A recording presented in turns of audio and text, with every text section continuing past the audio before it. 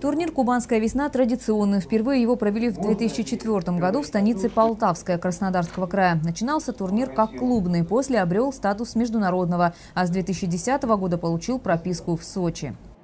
Мы рады приветствовать, мы очень рады о том, что сегодня город Сочи выступает площадкой для, новой площадкой для развития э, российского футбола в том числе, потому что в преддверии 17 и 18 годов у нас пройдет э, матчи конфедерации и чемпионата мира по футболу. Я уверен, что интерес в городе Сочи у жителей к такому мероприятию будет значительно высокий, поэтому всех призываю прибыть, посмотреть, поболеть.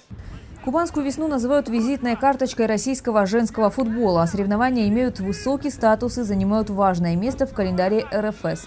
В этом году на футбольные поля спутника выйдут 12 команд. Россия, США, Иран, Украина, Турция, Румыния, Венгрия, Эстония, Израиль, Азербайджан и сборная Краснодарского края. Футболистки вошли в состав участников на правах хозяев.